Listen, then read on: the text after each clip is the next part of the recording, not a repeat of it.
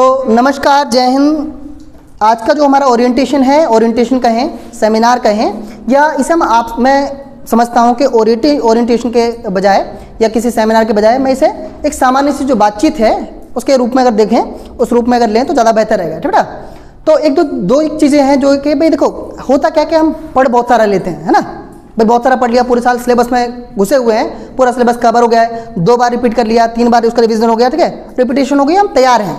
Exam के लिए तैयार है, ठीक है? लेकिन मैंने जो अनुभव किया है पिछले आठ सालों में, और स्पेशली बारहवीं क्लास को पढ़ाते हुए, वो ये कि एग्ज़ाम में कई बार मैंने देखा कि बच्चा जो है पढ़ाई के दौरान बहुत अच्छा था, ठीक है? बहुत भाई अच्छा रहा, तैयारी उसकी बहुत अच्छी थी। ऐसा भी नहीं था कि उसके, उसने कोई लापरवाही की हो, ठीक है? पर कुछ ऐसे कारक हैं, कुछ नहीं, बहुत सारे ऐसे कारक हैं, जो पढ़ाई के अलावा हमारे एग्ज़ाम को और हमारे जो रिज़ल्ट को मतलब क्या, प्रभावित करते हैं, ठीक है?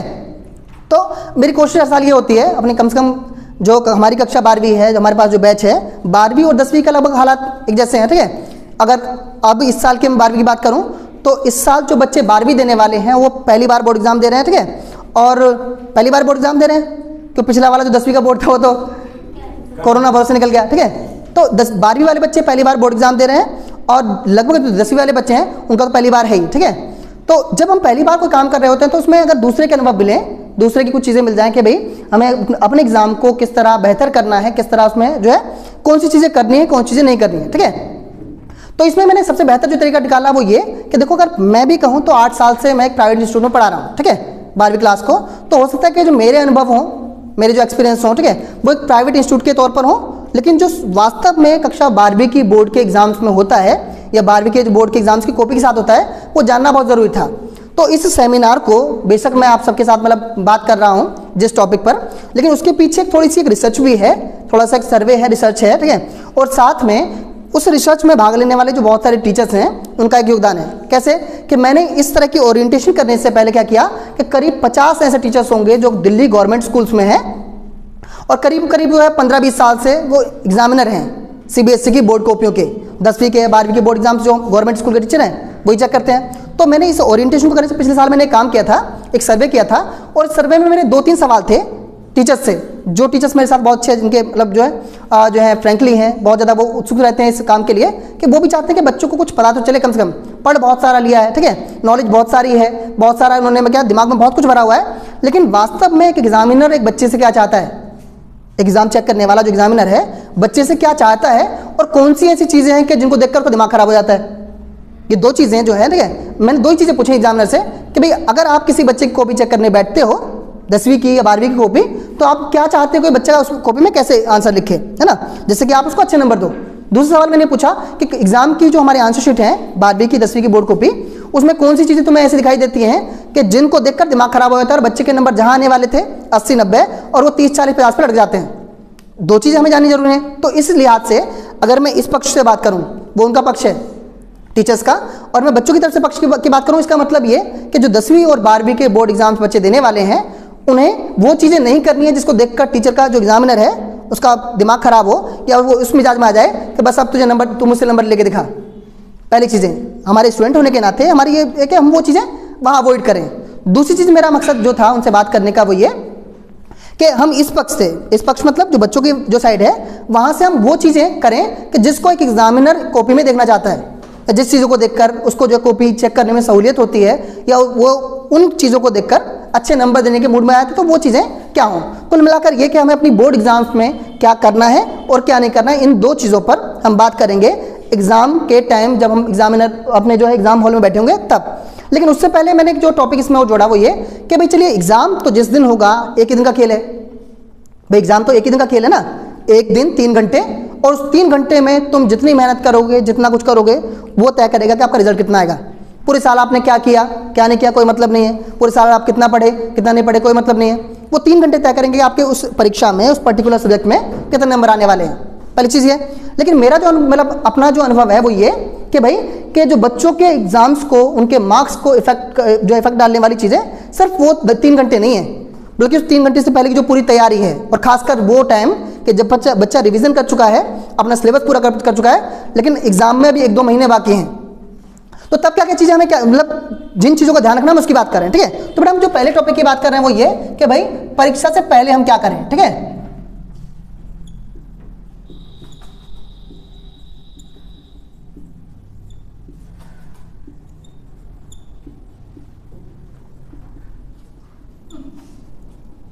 तैयारी या बातें? जब हम परीक्षा से पहले की तैयारी की या बातों की बात कर रहे हैं, ठीक है? तो वहाँ पर खास बात ये कि मतलब देखो, परीक्षा से पहले का मतलब कि मैं अब एग्जामिनर जो एग्ज़ाम हॉल में गया नहीं हूँ, मेरी डेट शीट आ चुकी है, परीक्षा का जो एग्ज़ाम है, वो किस दिन है ये पता है? लेकिन उससे पहले का जो टाइम है, ये एक डेढ़ महीने का जो टाइम है, एक डेढ़ महीना भी क्यों? अब मात्र एक महीना है आपके पास। आप पहला जो एग्ज़ाम दोगे, उसके लिए लगभग एक महीना बाकी है, और उससे पहले इस एक डेढ़ महीने में मुझे क्या करना है, उसकी बात करना है, ठीक है? बेटा देखो, कुछ चीज़ें ऐसी होंगी कि जिन पर हम अभी काम कर पाएँगे। मतलब अभी हमारे पास इतना वक्त है कि हम उन चीज़ों को सुधार लें।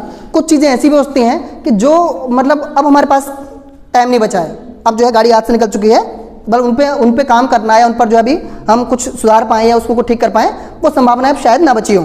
कुछ ऐसे हैं। बट पहली चीज़ जो मैं हमेशा कहता हूँ कि देखो ऐसा है।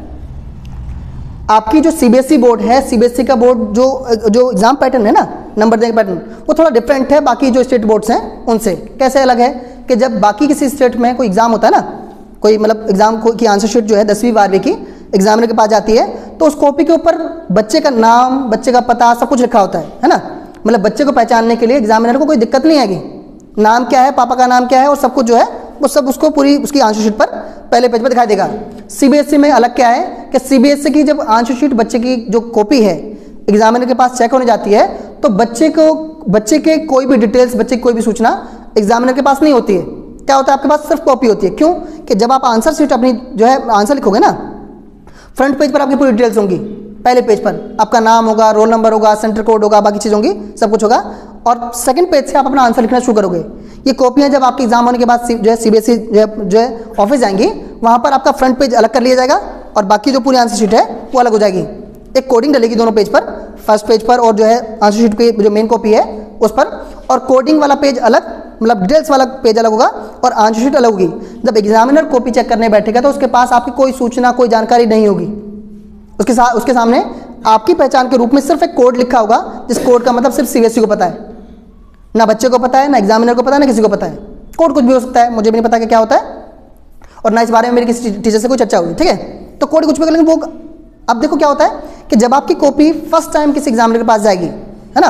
वो एग्ज़ाम चेक करने बैठा है, उनको जो एग्जामिनर है, वो अपना एग्ज़ाम चेक करने बैठे हैं, ठीक है? अब जब कॉपी जो किसी पता एग्जामिनर के पास जाती है ना, जब मैंने उनसे मतलब टीचर से बात की एग्जामिनर से बात की तो देखो ऐसा तो उनका कहना ये था कि देखो ऐसा होता है कि अगर सौ बच्चों का मतलब सौ जो कॉपी का बंडल है एग्जामिनर के पास सौ कॉपी का बंडल आया तो उस कॉपी के बंडल में क्या होता है ना कि भाई, कुछ कॉपी ऐसी होती है कि जिनको देखकर एग्जामिनर का मन करता है बस इस बच्चे के तो नंबर देने हैं, ठीक है?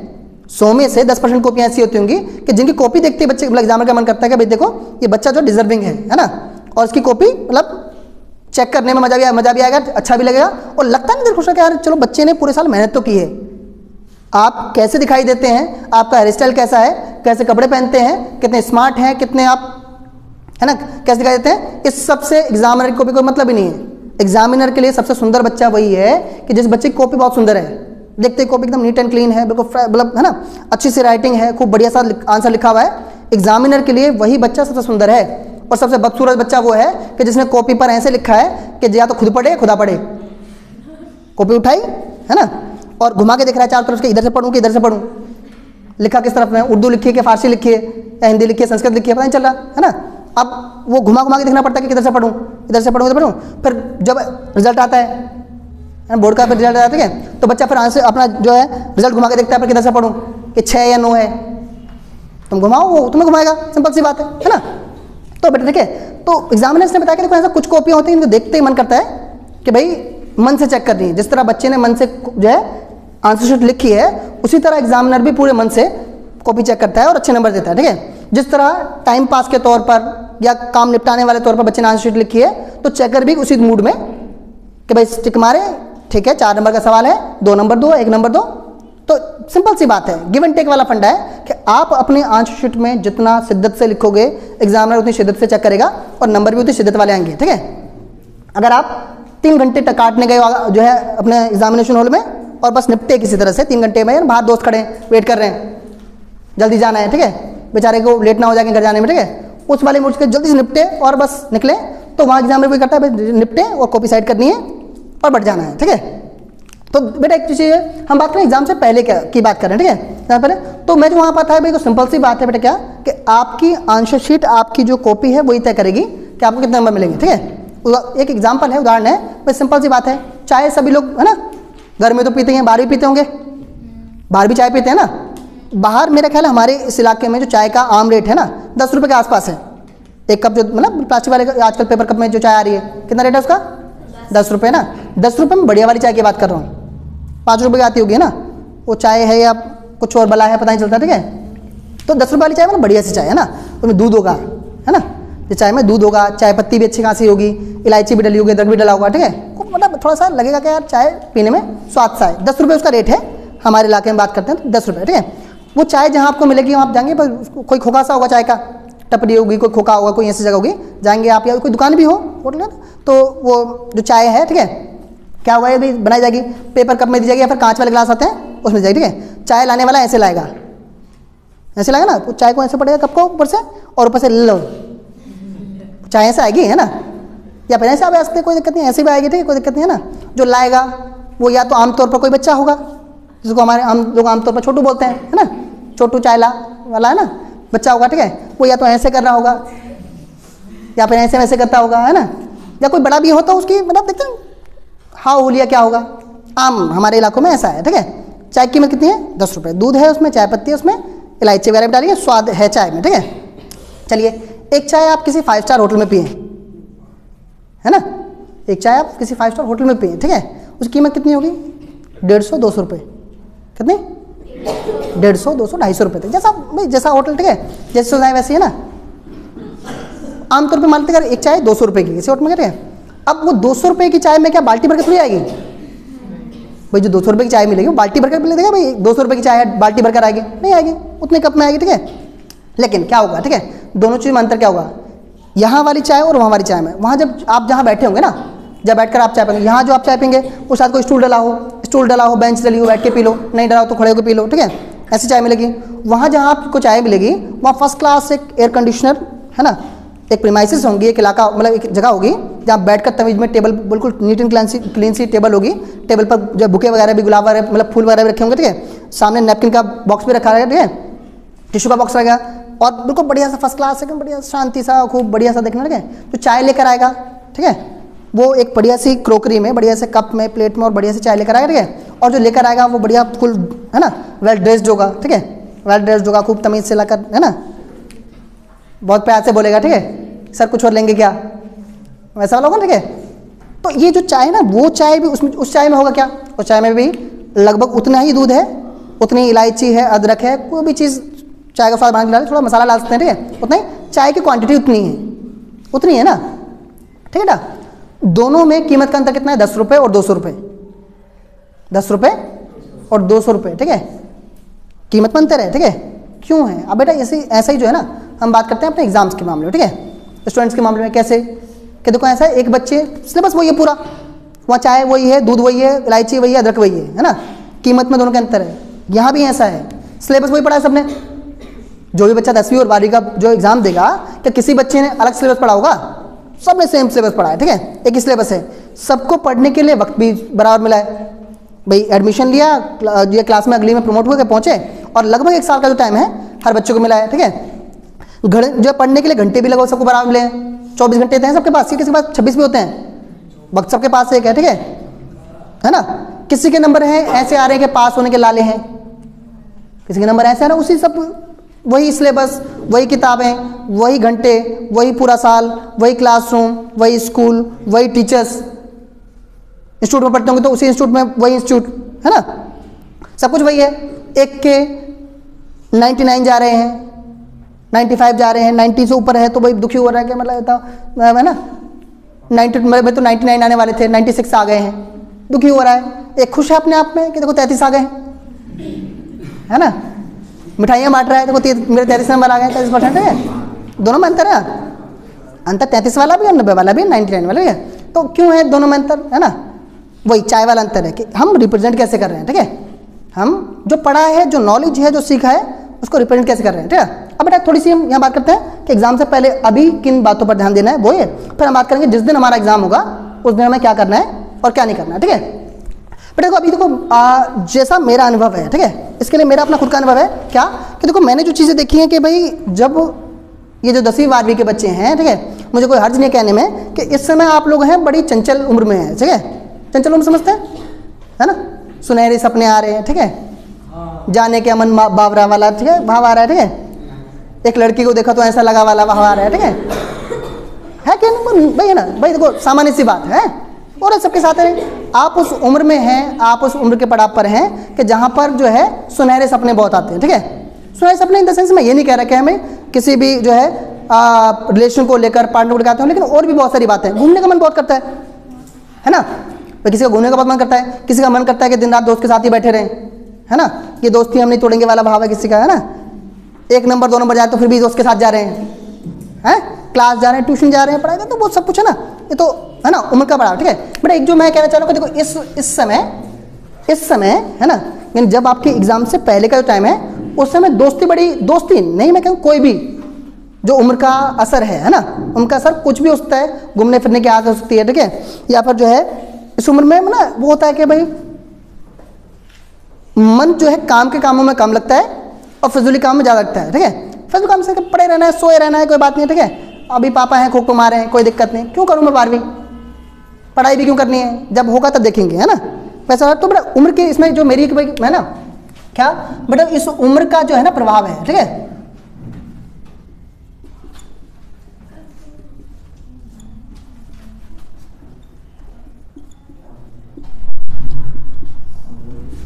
हाँ बेटा, क्या करना है एक जो चीज़?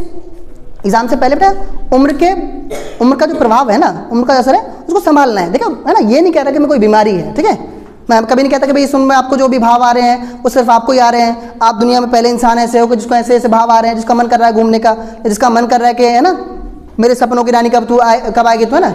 ऐसा नहीं कि आप लोग पहले हो, ठीक है? है ना? जितने भी लोग इस उम्र से गुजरे हैं, उन सबने वो अनुभव किया है, मैंने भी किया है, ठीक है?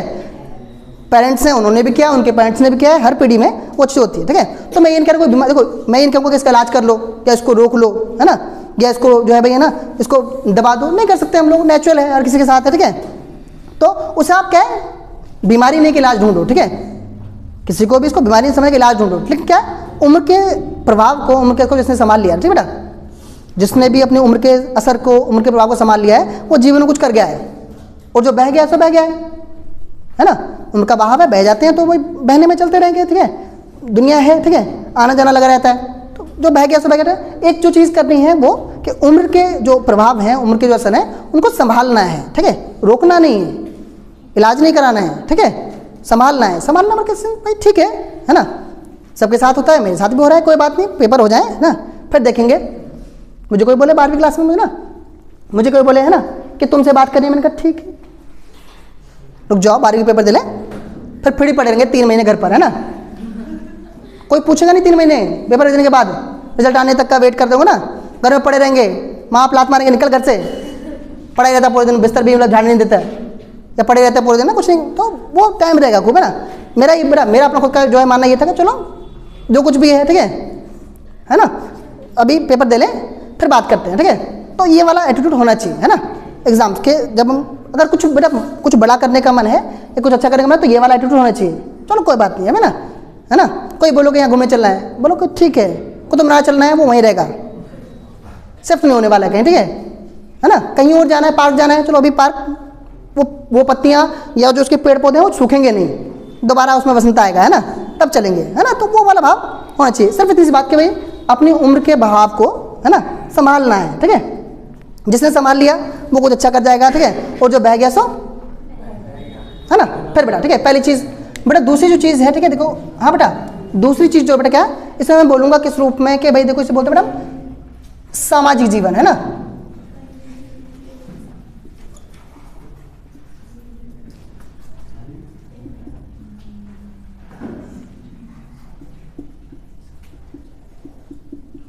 भाई, सामाजिक जीवन को संतुलित करना है, ठीक बेटा? सामाजिक जीवन क्या, कि भाई देखो, एक जो है भाई, बच्चा होने के नाते हम सिर्फ़ स्टूडेंट नहीं है, ठीक है? एक लड़का या लड़की होने के नाते हम सिर्फ़ स्टूडेंट थोड़ी हैं, छात्र थोड़ी हैं। हम किसी के बेटे भी हैं, किसी की बेटी भी हैं, किसी के घर में, ठीक है? आप देखो, बहुत कुछ है समाज में, ठीक है? सामाजिक जीवन में, हमारे सामाजिक जीवन में बहुत कुछ गुजरे, गुजरेगा, ठीक है? तो मैंने अनुभव किया, बेटा, कई बार क्या होता है कि बच्चा बहुत अच्छा है पढ़ने में, ठीक है? बच्चा घर में भाई, अपने जो है, पढ़ाई में बहुत अच्छा है, बहुत शार्प माइंडेड है, तैयारी उसकी बहुत अच्छी है। पर इस दौर में मतलब ये जो लास्ट टाइम है ना एग्ज़ाम से पहले का एक डेढ़ महीना है उस टाइम में उसके घर में या उसके परिवार में, उसकी रिश्तेदारी में कुछ ऐसा हुआ, है ना? कि जिससे उसका पूरा माइंड डिस्टर्ब हुआ और उसकी पूरी जो पढ़ाई है क्लैश हो गई, ठीक है? और मैं ये नहीं कह रहा हूँ कि ऐसा होगा, ठीक है? लेकिन बेटा, प्रकृति है जिसका जीवन है, ठीक है? जीवन में जो कुछ भी है हमेशा लाइफ स्मूथली नहीं चलती, है ना? आज खुश हैं तो कल को हो सकता परेशानी भी होती है, परेशानी आर्थिक भी होती है, परिवार में, किसी किसी घनिष्ठ में, किसी सगे संबंधी में, किसी का आना और जाना भी लगा हो सकता है, ठीक है? कुछ हो सकता है कि भाई ना कुछ बहुत सारा दबाव हो सामाजिक तौर पर, पारिवारिक तौर पर या आस पड़ोस के तौर पर, ठीक है? कि जो हमारे माइंड को डिस्ट्रैक्ट करे। जो हमें परेशान मैं ये नहीं बोला कि दिमाग को भटकाए, लेकिन कुछ ऐसा हो सकता है कि जो हमारे दिमाग को भटकाए। भटकाए किसी का भाई है ना? हो सकता है भाई हाँ मेरा दोस्त है मेरे से बात नहीं करता, है ना? तो कोई नहीं। उस समय बोला कि चलो ठीक है, अब दो तीन महीने पढ़ाई कर लें एग्ज़ाम दे लें, दोस्ती सब यहीं रहेगी, कोई कहीं जाने वाला नहीं, ठीक है? अगर किसी, भाई भाई मैंने बेटा मैं ऐसा क्यों बोल रहा हूँ, ठीक है? मैं ऐसा क्यों बोल रहा हूँ कि मेरे साथ ऐसा हो पिछले आठ साल के बैचों में तीन बार ऐसा हुआ। तीन बार ऐसा हुआ कि बच्चे का एग्ज़ाम है मार्च में, ठीक है? और फरवरी या फरवरी क्लास में ये हुआ, जनवरी और फरवरी में जो है दो ही महीनों में हुआ है और तीन बार हुआ है, सोचो। आठ साल में तीन बार हुआ है। मैं हर साल बच्चों से बात करता हूँ बेटा देखो, बहुत कुछ बिगड़ेगा अभी। इन्हीं एक दो महीनों में हमें तो एग्ज़ाम के लास्ट तक की बात कर रहे हैं मुझे तो। जिस दिन आप लास्ट का एग्ज़ाम दे रहे होगे, मैं तब तक की बात कर रहा हूँ। दो तीन एग्ज़ाम दे लिए, बहुत अच्छा है। कुछ बाद में कुछ बदल जाए तो क्या करेंगे, ठीक है? तो मैं उस वक्त की बात कर रहा हूँ बेटा, ठीक है? उस वक्त की बात कर रहा हूँ। अच्छा क्या हुआ मेरे साथ बता रहा हूँ, मैं नाम किसी का नहीं लेना चाहता, है ना? लेकिन क्या बेटा, ठीक है, कि मेरे साथ खुद हुआ कि आठ साल के बैचों में तीन बार ऐसा हुआ, तीन साल, के बच्चे का एग्ज़ाम है मार्च में और उसमें बच्चा खूब तैयारी में है, ठीक है? उसका मन से पढ़ाई में ठीक है? और तीनों के साथ ऐसे हुआ कि फरवरी में या जनवरी में उनके फादर एक्सपायर हो गए। तीन बार हुआ, एक दो बार नहीं, तीन बार, है ना? और सोचो कि जिस बच्चे के मतलब अभी एक दो महीने बाद एग्ज़ाम है, परिवार में पिता का चले जाना, उसके दिमाग को कितना झुलड़ के रख देगा, ठीक है? अब ऐसा भी हुआ एक दो साथ एक दो बच्चों के साथ तो कि उनके परिवार में कमाने वाला सिर्फ़ जो है पिता था। भाई चलो एक, मैं ये नहीं कहता कि किसी की कमी कोई पूरी कर देगा, ठीक है? लेकिन उस स्थिति में बच्चा थोड़ा समझ जाता है कि घर में और बड़े हैं। पिता नहीं है, पिता के बाद बड़े भाई हैं, संभाल लेंगे, ठीक है? बड़े भाई हैं, परिवार कोई भी ऐसा व्यक्ति है जो संभाल लेगा परिवार को, आर्थिक रूप से ही संभाल लेगा, ठीक है? या परिवार को भी संभालने वाला होगा, ठीक है? ऐसा कुछ अगर है तो फिर भी बच्चा थोड़ा समझ आता है, ठीक है? ऐसा भी हुआ एक बच्चे के साथ में कि उसके मतलब कमाने वाला घर में, घर को चलाने वाला सिर्फ़ पिता ही था। और पिता की डेथ हो गई कब? फरवरी में, ठीक है? अब सोचो कि जिस बच्चे को आपसे पंद्रह दिन, बीस दिन बाद एग्ज़ाम देने हैं, ठीक है? तो उसका दिमाग कितना डिस्टर्ब रहा होगा, ठीक है? लेकिन गनीमत गनीमत ये कि बच्चों ने, उन्होंने हिले नहीं, हिले मतलब सर, कि मैंने बोल के कुछ बात है। हमें नहीं पता कि हमारे साथ अगले घंटे, अगले एक पल में क्या होने वाला है, ठीक है? हमें नहीं पता कि समाज है, बेटा, प्रतिदिन जो है हज़ारों मृत्यु होती हैं। वो पृथ्वी पर ही होती है ना। तो लोग दुनिया में घूम रहे हैं ठीक ठाक उनके साथ ही होती है ना।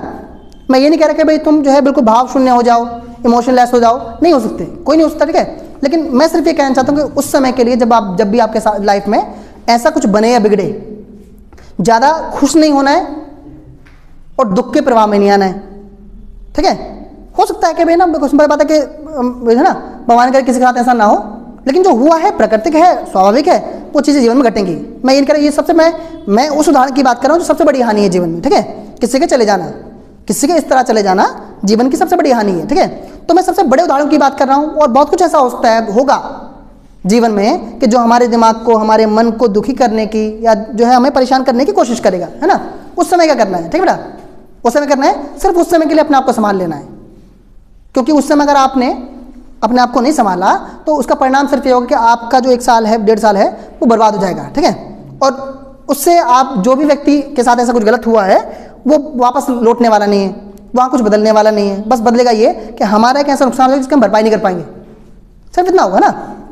तो ये जो मैं कह रहा हूँ कि भाई समाज जीवन को संतुलित करके रखना है, ठीक है? और अपने आप को उस सामाजिक जीवन में बैलेंस करके रखना है, ठीक है? इमोशंस को थोड़ा सा कंट्रोल करने की कोशिश करनी है कि अगर कुछ, बहुत कुछ बुरा हो रहा है तो चलो ठीक है, प्रकृति है, ईश्वर है, जिसने जो बनाया है वो चलता रहेगा, ठीक है? और खूब अच्छा हो रहा है तो चलो कोई बात नहीं, खुशियाँ मनानी सेलिब्रेशन करना है तो एग्ज़ाम दे लें, फिर कर लेंगे। ठीक बेटा?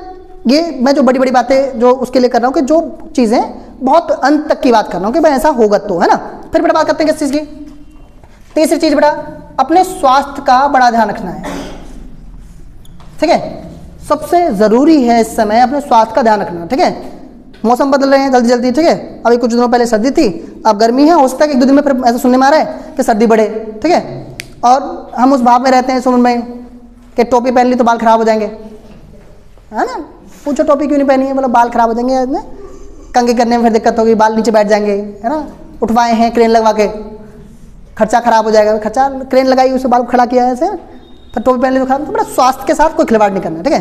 अगर चाहते हैं कि भाई जो है हष्ट पुष्ट स्वस्थ रहकर पूरा एग्ज़ाम तक की जर्नी पूरी करनी है तो स्वास्थ्य खिलवाड़ नहीं करना, ठीक है? स्वास्थ्य में क्या, ठीक है? एक तो जो मौसम बदल ये फरवरी, मार्च एग्ज़ाम का टाइम है, इस समय मौसम बदलता है, ठीक है? जब मौसम बदलता है तो उसी समय जो है, ये समस्याएँ थोड़ी सी फीवर वगैरह होना, या जो है ना, भाई कफ होना, बुखार होना, वो बेटा गारंटी है। अगर किसी बच्चे को दो दिन एग्ज़ाम बेटा ढंग का बुखार रह गया ना किसी बच्चे को अगर दो से तीन दिन ढंग का बुखार रह गया तो उसकी पिछली दो तीन महीने की तैयारी कबाड़ हो जाएगी। दिमाग हिल जाता है बुखार में, ठीक है?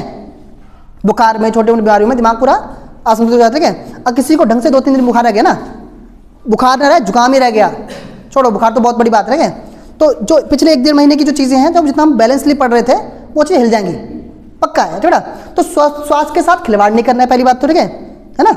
कोई दिक्कत नहीं है। हीरो बनने घूमना है तो घूमना, खूब तीन महीने रोड पे ना, परेड निकालना। खूब घूमना, ठीक है? लेकिन अभी स्वास्थ्य के साथ कोई खिलवाड़ नहीं करना रिस्क नहीं लेना, ठीक है? स्वास्थ्य ठीक रहेगा तो मस्तिष्क ठीक रहेगा तो ये मानसिक और जो, है ना, शारीरिक जो जो चीज़ें हैं, उनको ठीक ठाक रखना है, ठीक है? तो भाई एक तो उम्र का जो है भाई प्रभाव है, जो बहाव है, उसको संतुलित करना है, दूसरा जो सामाजिक जीवन है, उसको थोड़ा बैलेंस करना है। और तीसरा हमने बात की भाई, ठीक है? इसकी एक जो भी चीज़ है, अगर आपके कंट्रोल में रहे, ठीक है? अगर एक चीज़ आपका कंट्रोल में है तो बेटा अपनी जो प्रेजेंटेशन के लिए हम अभी जो कर सकते हैं तो एक तो बेटा क्या है लेख यानी कि राइटिंग ठीक है? लेख और प्रस्तुति। राइटिंग है ना? और प्रेजेंटेशन दो चीज़ें हैं। जैसे मैंने भी कहा ना चाय वाला एग्जांपल उसमें खाली दो ही चीज़ें थी। प्रेजेंटेशन थी उसमें। दस रुपए की चाय में और दो सौ रुपये चाय में सिर्फ़ एक अंतर है किसी? प्रेजेंटेशन का। कि वही जो दूध है वही जो चाय पत्ती है वही जो अदरक है या इलायची है वो कि, किस तरह प्रेजेंट की जा रही है? एक को मिल रहे हैं दो सौ रुपये और एक को मिल रहे हैं दस रुपये ठीक है? वही चीज़ एग्ज़ाम में काम आएगी। कि हम हम आंसर वही है नॉलेज वही है है ना? बात कब आया हुआ, सबको पता है, उन्नीस में हुआ, ठीक है? भाई, भारत के सामने कौन चुनौती थी? वही चुनौतियाँ हैं। हर बच्चा वही आंसर लिखेगा। लेकिन उस आंसर को कैसे लिखेगा, कैसे रिप्रेजेंट करेगा, ये मायने रखे, ये मायने जो है इस बात के कि आपको नंबर कितने मिलेंगे। पर तो सभी वही रहे ना? आंसर सभी वही लिखेंगे। जो तुम आंसर लिखोगे एग्ज़ाम को पता है पहले से। चेक करने वाले को आंसर पहले से पता है ना भाई? पढ़े किताबें तो उसने पढ़ी हैं। लेकिन नंबर किस बेस पे देगा आपने किस तरह लिखा है आपने किस तरह रिप्रेजेंट किया ठीक है? तो पर इसके लिए जो एक काम अगर आप कर, जो है करने का समय हो तो अपनी राइटिंग को बहुत सुंदर कर लें ठीक है? जैसे इसका मैंने कहा ना कुछ चीज़ें हमारे कंट्रोल में नहीं होंगी। इसका हमारे पास वक्त नहीं है ठीक है? है ना? अब हम जो है द को जैसा लिखते हैं वो अब दाई लिखेंगे ठीक है? अगर हम जो है कबूतर को मोर बना देते हैं तो हम कबूतर को मोर ही बनाएँगे। का से कबूतर हमारा माई लिखे, लगेगा तो लगेगा। लेकिन मैं ऐसा क्यों कह रहा हूँ? मैंने देखा है, कुछ बच्चों ने, ठीक इंप्रूव किया बहुत कम टाइम में और बहुत ज़्यादा इंप्रूव कर लिया, ठीक है? और जिनकी उम्मीद लगती थी कि यार ये तो कहीं लटक नहीं जाएँगे, ठीक है?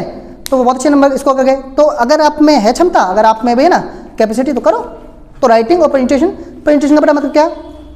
आप अपने आंसर को कैसे रिप्रेजेंट कर रहे हैं? हमारे लिखने की भाषा क्या है? ठीक है? लिखने की भाषा मतलब क्या? है एक बच्चा लिख रहा है, ठीक है? सिंपल सी बात है। एक बच्चा बच्चा जो है, लिख रहा है आम शब्दों में, है ना? कि भाई भारत में, है ना? लोकतांत्रिक भारत में ब्रजवाड़ों का विलय कैसे हुआ? एक लिखता है, सरदार वल्लभ भाई पटेल ने सबको डंडे से दौड़ाया और ज़बरदस्ती रजवाड़ों का भारत में विलय करा लिया। आंसर है, ठीक है है ना? दूसरा लिखता है, कि भाई, भारत में, लोकतांत्रिक भारत में रजवाड़ों का विलय कराने में भारत के पहले गृह मंत्री सरदार वल्लभ भाई पटेल की बड़ी महत्वपूर्ण भूमिका रही। उन्होंने बहुत सारी नीतियाँ, बहुत सारी परियोजना के द्वारा लोगों से वार्तालाप करके बहुत सारे जो है ना प्रस्ताव देखे सुझाव देखे बड़े जो है सावधानी पूर्वक बड़े सहजता से सभी लोकतांत्रिक, जो रजवाड़ों का लोकतांत्रिक भारत में लेकर आया आंसर तो वही है। प्रस्तुतिकरण का मैं बात करूँ हमारी भाषा, है ना? भाषा शैली कैसी है? हम कैसे अपने आंसर को रिप्रेजेंट कर रहे हैं? वो अच्छी है, ठीक है? एक चीज़ बेटा जो है ना, कि एक जो पांचवी और इस खंड में आखिरी जो मैं बात करना चाह रहा हूँ, वो है बेटा हमारे क्या? है ना? नियमितता। नियमितता रेगुलरिटी है बेटा? अब इस समय क्या चाहिए आपको? आप बहुत पढ़ चुके हैं, ठीक है? आप बहुत सारा पढ़ चुके हैं क्लासेस स्कूल लगभग अभी कुछ दिनों में बंद हो जाएँगे, ठीक है? स्कूल जो आपका बंद हो जाएगा, ठीक है? अब आपके पास जो है पढ़ने के, अगर आप कहीं इंस्टीट्यूट जा रहे हैं तो वो बचेगा, और दूसरा आपके पास घर बचेगा, ठीक है? पढ़ने के लिए, है ना? तो वहाँ पर क्या किया जो रेगुलरिटी है ना, वहाँ पर जो आपकी रेगुलरिटी है, वो बहुत ज़रूरी है। रेगुलरिटी बहुत ज़रूरी है। क्यों ज़रूरी है, ठीक है? है ना? आज हमने मिल्खा सिंह देख ली सुबह सुबह कल पढ़ाई के बाद मन किया कि थोड़े से कोई फ़िल्म देख लें, ठीक है? और पाँच सौ पाँच सिंह तोमर देख ली, मिल्खा सिंह देख ली, ठीक है? और बोलो, सुबह से तो मुझे, है ना? अब तो भाई जो है ना सीबीएसई का जब रिज़ल्ट अनाउंस तो ऊपर लिखा है बड़े बड़े अक्षरों में, फलाने व्यक्ति ने, बच्चे ने जो है सीबीएसई टॉप किया। अब तो वाला जो जोश आ गया, ठीक है? और सुबह पढ़ना शुरू किया अगली सुबह से। शाम तक मम्मी बोले, खाना खा ले। नहीं मम्मी, आज तो ना, चार चैप्टर पूरे करने तभी खाना खाऊँगा, ठीक है? खाऊँगा या खाऊँगी, है? बोलो, जो है, पढ़ाया ना, नहा तो ले। बोलो, नहीं, अब तो एग्ज़ाम के बाद ही नहाऊँगा। ऐसा वाला भाव क्या एकदम जोश में रहे और वो अगर बारह, तेरह, चौदह घंटे खूब पढ़ लिए, है ना? और लगा उसी दिन, है ना? यूपीएससी वाले आ जाएँगे, बेटा कलेक्टर की जॉब ले ले। ऐसा वाला लगे ना, थोड़ा है ना? जोश आ गया इतना, ठीक है? शाम को कुछ खाया, है ना? सोए, और उसके अगले दिन की सुबह जो है, ठीक है? है ना? बोलो, कोई बात नहीं है अभी थोड़ा टाइम बहुत है, इतना पढ़ के क्या करना है ना? दस पंद्रह मिनट किताब खोली हम्म किताब खोली, और किताब में भी बिस्तर नज़र आ रहा है। ठंड सा मौसम सुनहरा सा मौसम है, कंबल ताना सो गए।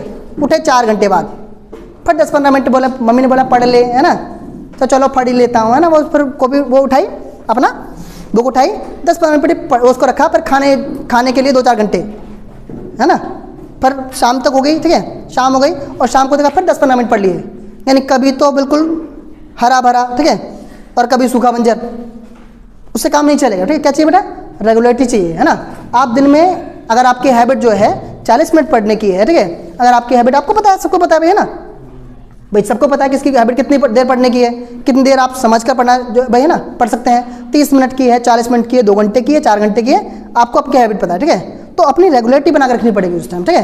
रेगुलरिटी कि अगर आप प्रतिदिन आठ घंटे पढ़ाई के लिए दे रहे हैं, या छः घंटे दे रहे हैं, चार घंटे दे रहे हैं तो मैटर नहीं करता कि आप कितना टाइम दे रहे हैं, ठीक है? लेकिन वो रेगुलरिटी रहनी चाहिए। आखिरी टाइम तक डेली की हमारी हैबिट होनी चाहिए, या बोलो कि हमें और कुछ सूझे ना उस समय, ठीक है? मैं ये नहीं कह रहा बहुत ज़्यादा पढ़ो, बहुत ज़्यादा पढ़ने की किसी को ज़रूरत नहीं है, लेकिन जितना पढ़ो रेगुलरिटी बना के रखो, ठीक है रेगुलरिटी पढ़ने में भी इसी में एक और चीज़ ऐड कर लो, ठीक है क्या? लिखने की, सिर्फ़ पढ़ो मत। सिर्फ़ पढ़ते रहे, किताबें पढ़े जा रहे हैं, पढ़े जा रहे हैं, पढ़े जा रहे हैं, और बड़ बन गए हैं ना? विद्वान, है ना? लेकिन लिख नहीं रहे हैं। क्यों? एग्ज़ाम में तो लिखना है ना भाई? एग्ज़ाम में लिख कर ही नंबर मिलेंगे। आपके दिमाग में कितना ज्ञान है, आपको कितना ब्रह्मांड का जो है पूरा ज्ञान भरा पड़ा है, उस बातों को कोई मतलब नहीं जब तक एग्ज़ाम में लिखेंगे नहीं, ठीक है? होता क्या बच्चे ना, यहाँ पर पढ़ते बहुत हैं।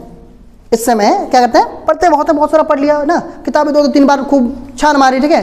किताब में जो है चार, वो सब कोई पूछ ले बच्चे से ना, कि बताओ तुम्हारी किताब में कौन सी लाइन, कौन से रंग से छपी है, बता देंगे वो वाली नीले रंग से छपी थी।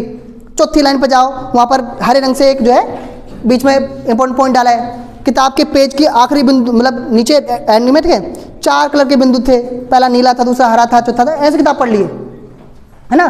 किताबों को इतना देख लिया, किताबों इतना पढ़ लिया कि बस। कौन से पेज पर कौन सी फ़ोटो छपी ये भी पता है। है ना?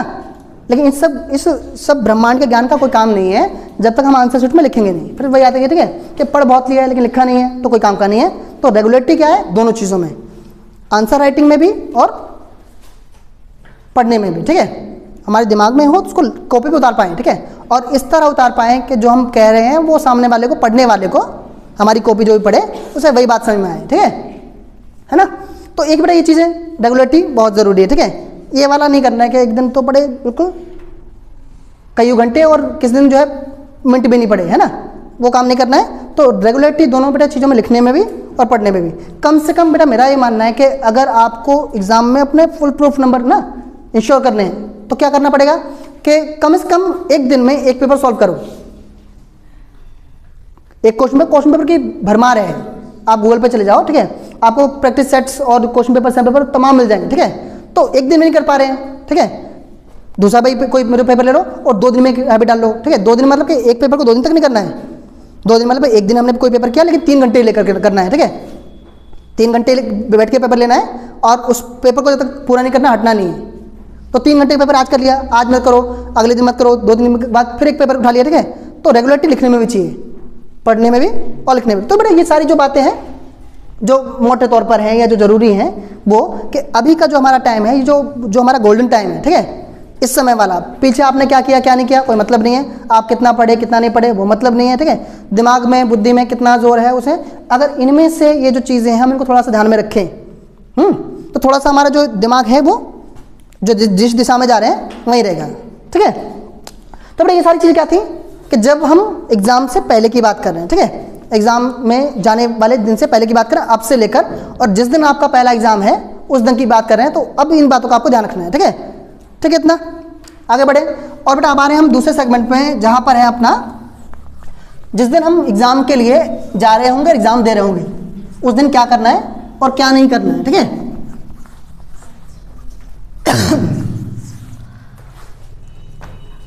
चलिए बेटा तो मैं इसमें दो चीज़ें हैं, ठीक है? एक तो भाई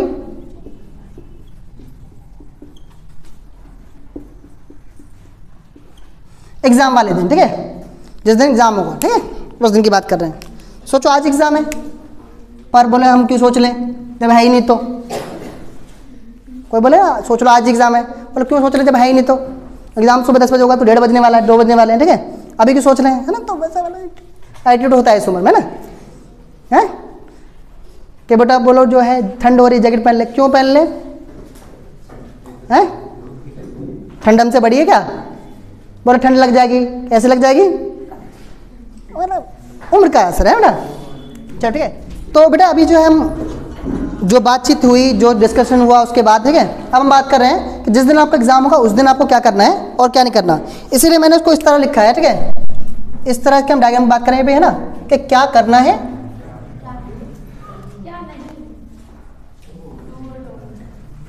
करना है या नहीं डू ठीक है? और क्या नहीं करना है।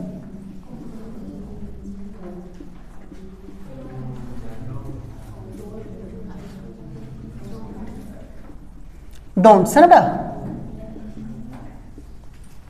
डू और है ना क्या करना है और क्या नहीं करना है, ठीक है? अब देखिए, जो अभी तक हम बात करते हैं, वो एक सामान्य सी बात है, आप सबको पता होगा, ठीक है? लेकिन मेरा काम एक टीचर होने के नाते ये है, मेरी ज़िम्मेदारी है कि मैं आपको उससे अवगत कराऊँ, ठीक है? आपको उससे भाई, पता होना चाहिए, ठीक है, कि वो सभी चीज़ें सबको पता है, घर में डेली सुनते हुए ये सब बातें। लेकिन अब जो ये वाली बेटा हम बात कर रहे हैं, ये उस बातचीत का नतीजा है, निष्कर्ष है कि जो बातचीत मैंने करीब जो है घंटों घंटों बैठकर टीचर्स से फ़ोन पर की है, ठीक है? जो भी गवर्नमेंट टीचर्स हैं गवर्नमेंट टीचर्स हैं एग्जामिनर्स जो एग्ज़ाम की कॉपी चेक कर रहे हैं, करीब पंद्रह सालों से, बीस सालों से, दस सालों से, और उन्होंने उनकी जो बातें निकल कर आई कि वो लोग, है ना, क्या चाहते हैं आंसर शीट में कि बच्चे क्या करें और क्या ना करें, है ना?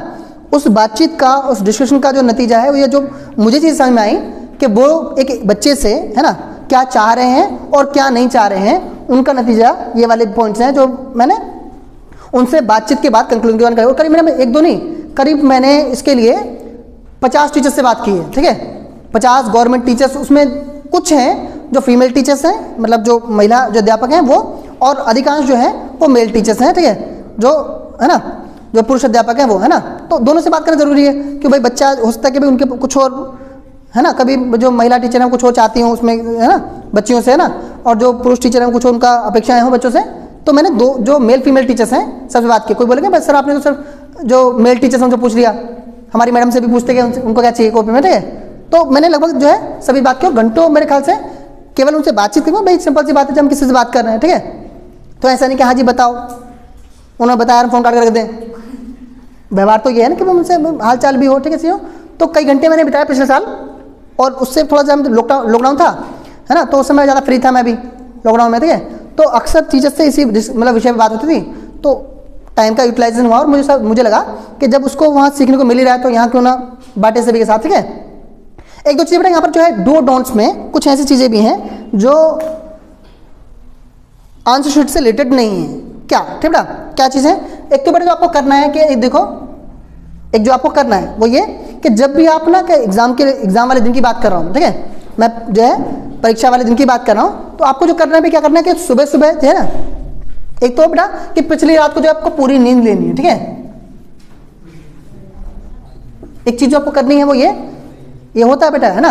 एक जो ज़्यादा एक्साइटेड बच्चे होते हैं ना, ज़्यादा जिनको भी होता है कि बहुत अच्छा जो है ना अचीव करने हैं मार्क्स या बहुत सारे स्कोरिंग करनी है, ठीक है? उनके साथ अक्सर ये दिक्कत होती है, अक्सर होती है, बता रहा हूँ, ठीक है? वो लास्ट नाइट खूब पढ़ते हैं। पिछली रात खूब दबा कर पढ़ते हैं, रात को पढ़े, एक दो बजे तक पढ़े, ठीक है? और एक दो बजे तक, दो तीन बजे तक पढ़े, ठीक है? और उसके बाद जो है, ठीक है? एक तो एग्ज़ाम के लिए जो है, सुबह जल्दी सोकर उठे। सुबह भाई टाइम का भी है ना तो रात भर नींद नहीं आती कई बार तो। कई बार ये बताया चलो नहीं भी पढ़ रहा था, ठीक है? उसको रात को नींद नहीं आती, अगले दिन पेपर है। और ऐसा अक्सर पहले एग्ज़ाम में होता है। कल क्या होगा, क्या नहीं होगा, ठीक है? कि भाई टाइम से पहुँचेंगे, नहीं पहुँचेंगे, सुबह कितने बजे निकलना है यूनिफॉर्म तैयार करनी है इन्हें तो दो चीज़ें होती हैं। एक तो या तो बच्चा रात को पढ़ने में जाता है है ना? रात भर या तो पढ़ने में जाता है, या फिर क्या करता है कि वो रात भर चिंता में लगा रहता है कि अगली सुबह कैसे पेपर होगा, ठीक है? तो एक जो काम करना है, आपको सब कुछ भूल भाल कर जितना पढ़ लेना है लास्ट से लास्ट आपको पिछली रात को नौ से दस बजे सो जाना है, ठीक है? नौ दस और अगर आदत है लेट सोने की तो ग्यारह बारह आपको आजकल है ना, आदत है सोने की रे? लेकिन कम से कम जो बेटा क्या छः सात घंटे की, आठ घंटे की पूरी नींद लेनी है, ठीक है?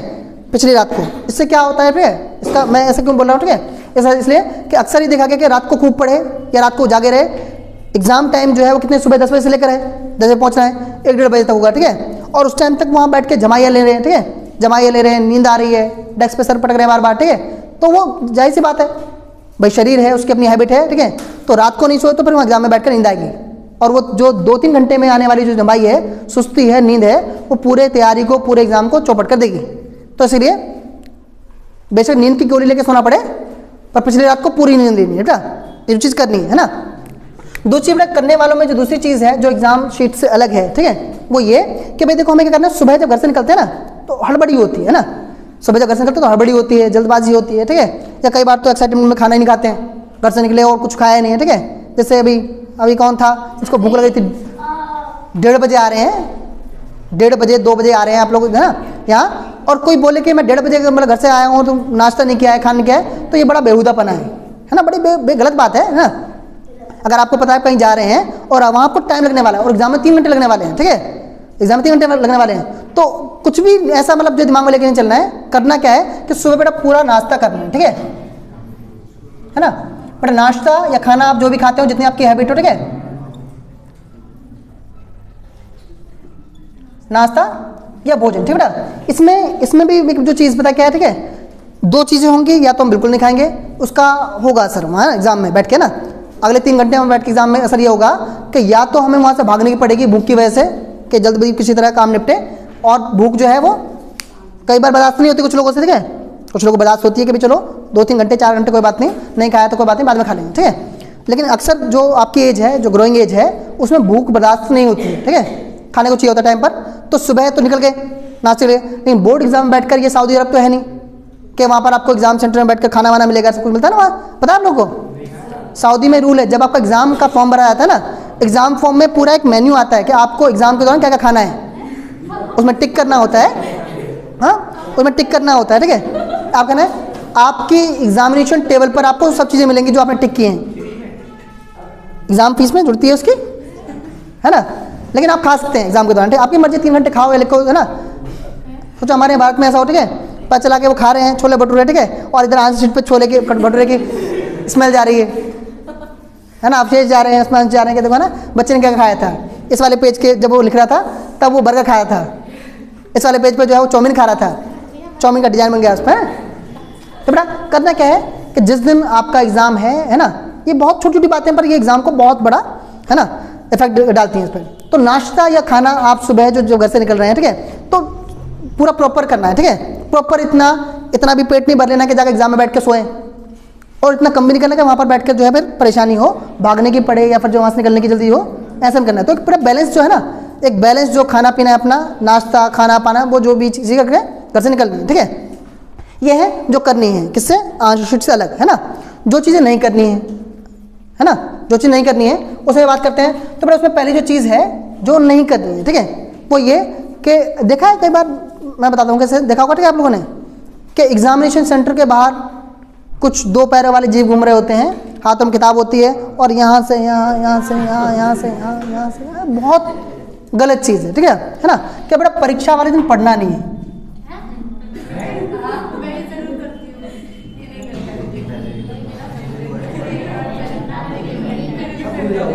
सुनो बेटा, ठीक है? अच्छा क्यों?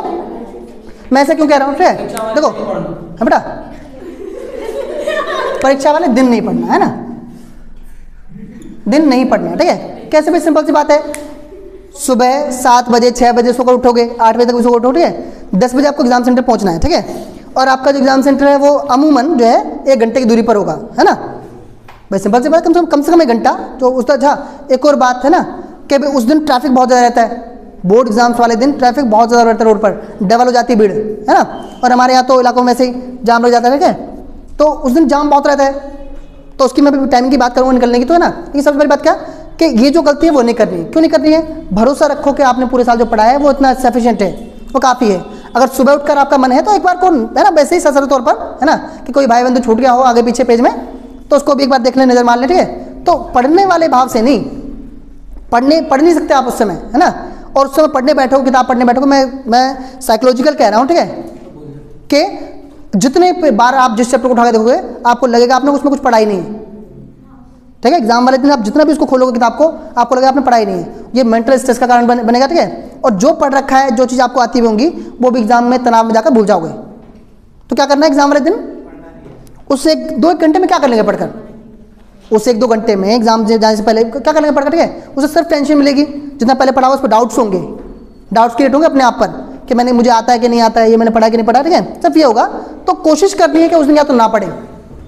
पूरे साल पढ़ा है, खूब दिन रात पढ़ाई पढ़ाई की है, ठीक है? उस पर विश्वास रखो, उस पर भरोसा रखो कि मैंने जो पढ़ा है, वो काफ़ी है सफिशियंट है। मैंने पूरा रिविजन कर लिया है, पूरा पढ़ लिया है, ठीक है? उस दिन किताबें खोलकर आपको बहुत ज़्यादा फालतू का जो स्ट्रेस है, जो दिमाग पर बोझ है, वो लेने की ज़रूरत नहीं है है ना? मैंने कहा ना, अगर आपका बहुत ज़्यादा मन है कि भाई एक बार देख लें चलते चलते है ना? एक बार नज़र मारते जाएँ, ठीक है? तो एक बार किताब उठाओ, वैसे ससर तौर पर एक नज़र मार लो। है ना? ये मत इवेल्यूट करने बैठो कि मुझे ये चीज़ आती है कि नहीं आती? बस, जो टॉपिक्स हमको एक बार देखना है तो नज़र को किताब में उठाओ। बहुत ज़्यादा बड़ी किताब नहीं है। बस पेज पन्ने पलट को देखते रहे, चलो एक बार, और इतना कर लो दस पंद्रह मिनट में, आधे घंटे में, इससे ज़्यादा कुछ करने की ज़रूरत नहीं है। मैं ये से बता रहा हूँ, ठीक है? ये जो घूमते दिखाई देते हैं, उनको नंबर चेक कर लेना तुम लोग। एक बच्चा जो मतलब एग्ज़ाम वाले दिन बिल्कुल मतलब उस दिन नहीं पढ़ा उसने, पूरे साल पढ़ा है ना वो? उस पूरे साल की पढ़ाई से नंबर आएँगे क्या? उस दिन एक घंटे में पढ़कर नंबर आएँगे? ये उसके लक्षण है कि इसने पूरे साल कुछ नहीं पढ़ा है? और लास्ट टाइम उसको कि मैं ये भी समेट लूँ पूरी तरफ़ से ना करके, ये भी मिल जाए, वो भी मिल जाए, ये भी समेट लूँ, वो भी पढ़ लूँ। वो उसके लक्षण है। पूरे साल पढ़ने वाले लक्षण वो नहीं है, ठीक है? तो भाई उस दिन पढ़ने की कोशिश नहीं करनी है।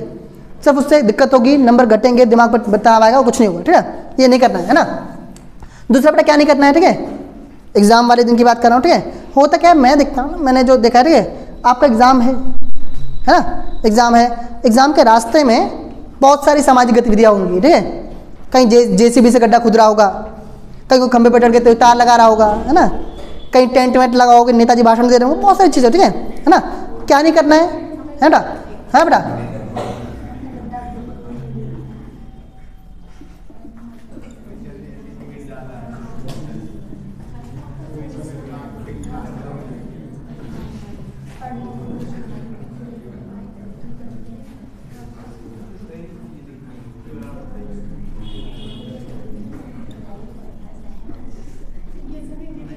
बेटा, क्या नहीं करना है, ठीक है? क्या नहीं करना है कि जब आप रास्ते से एग्ज़ाम देने जब जा रहे हैं, ठीक है? तो वहाँ रास्ते में क्या हो रहा है है ना? किसी का एक्सीडेंट हुआ है, कोई मर गया है है ना? किसी का एक्सीडेंट हुआ है, कोई मर गया है, कोई, है ना? बहुत बुरी चीज़ हो रही है, बहुत अच्छी चीज़ हो रही है, उन सब पर ध्यान नहीं देना, है ना?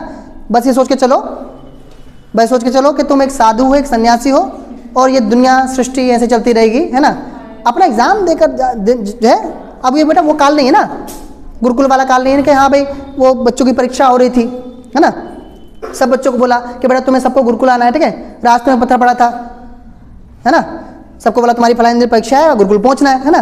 रास्ते में पत्थर पड़ा था, सारे बच्चे भाई जो परीक्षा के लिए लेट हो रहे हैं एग्ज़ाम के लिए लेट हो रहे हैं, ठीक है? एग्ज़ाम के लिए लेट हो रहे हैं, भाई जल्द कोई सारे बच्चे वैसे निकल के आ गए एक बच्चे ने सोचा कि पत्थर क्यों पड़ा रास्ते में? उसने उठाया, रास्ते साइड में रख दिया। क्यों? किसी का पैर लग जाएगा, किसी का चोट लग जाएगी, बुरा हो जाएगा, है ना? और वो बच्चा जो है सबसे देर से स्कूल पहुँचा, वहाँ गुरुकुल पहुँचा, ठीक है? अब गुरुकुल में जब जो है परीक्षा हुई और सबका परिणाम घोषित हुआ तो गुरुजी ने कहा कि सबसे लेट आने वाला बच्चा जो है वो प्रथम आया है। क्यों? बाकी सबने समाज की भलाई को अनदेखा किया उसने समाज की भलाई को ध्यान में रखा, किसी को चोट न लग जाए उसने पत्थर उठा के साइड में रखा। तो बेटा वो गुरुकुल वाला काल लेंगे ना है ना? ये सीबीएसई बोर्ड एग्ज़ाम है और वहाँ समाज की भलाई करते हुए नहीं चलना है रास्ते में, ठीक है? तो ना तो किसी चीज़ से प्रभावित होना है, ठीक है? कुछ अच्छा हो रहा है, होने दो। एग्ज़ाम हो जाएगा, एक डेढ़ बजे, फिर आके वापस देखें क्या हुआ। भंडारा मतलब जागरण हो रहा है, होने दो।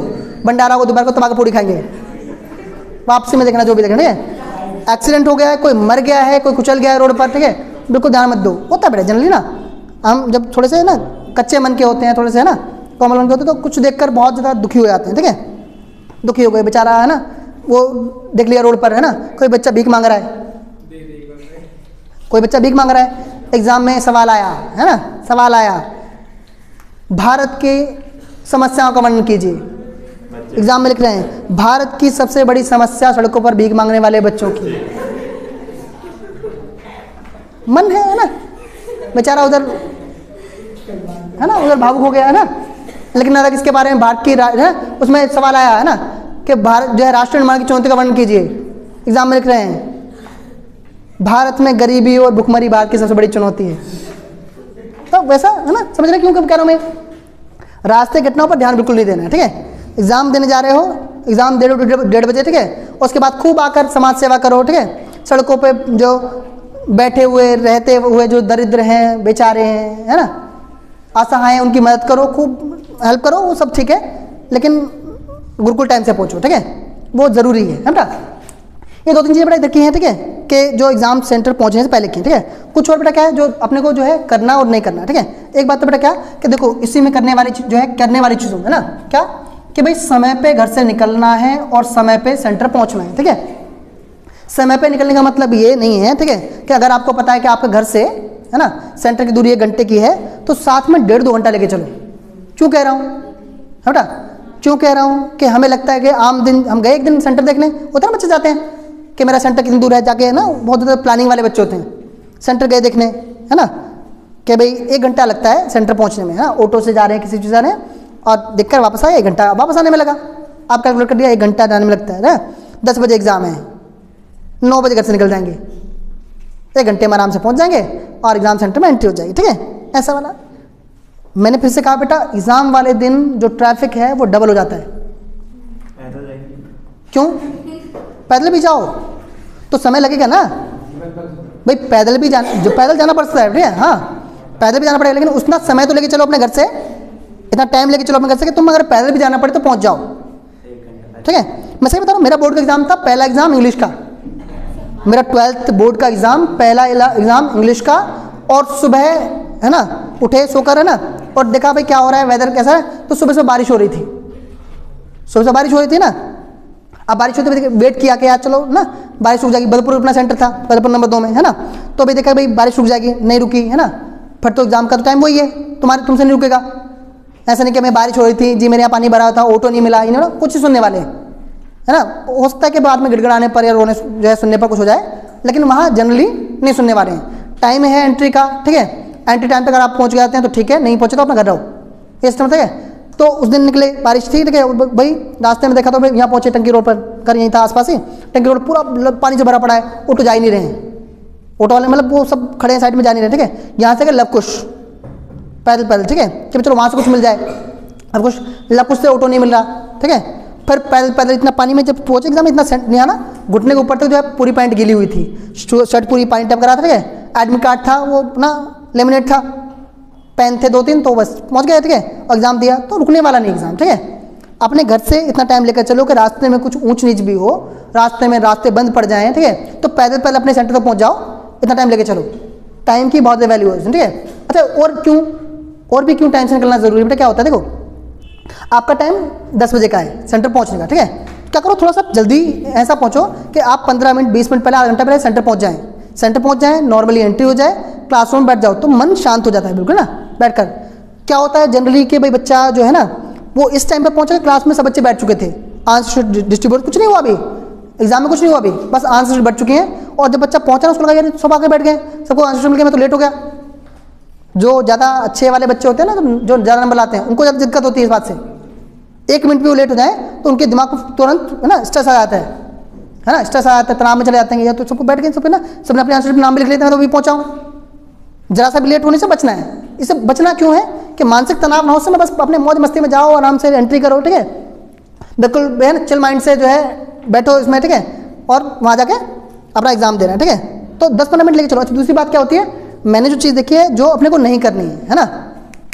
नहीं करनी। समय की बात करो ठीक है। अगर आप समय से सेंटर पहुँच जाते हैं, समय से मतलब टाइम पहुँच जाते हैं क्या तो बेटा सेंटर के आसपास नहीं घूमना है।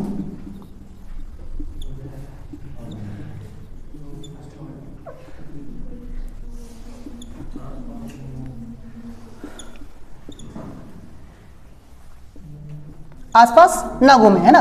आसपास से मेरा मतलब है कि सेंटर के गेट के आसपास रहो, ठीक है? लेकिन उससे ज़्यादा दूर मत निकलता जाओ। होता है ना कई बार?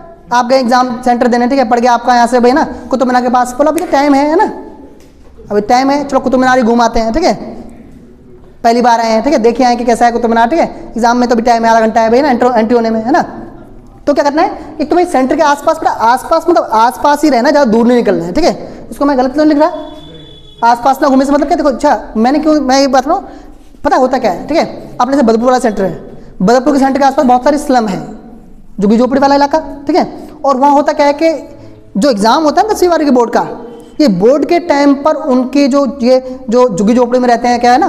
वो छीना जप्ती करने वाले, छीना जप्ती करने वाले, लूट लेने वाले, छीना मतलब पैसा, है ना? चाकू दिखा पैसा मांगने वाले, ठीक है? उनकी बहुत, उस समय बढ़िया इनकम चल रही होती है। क्यों?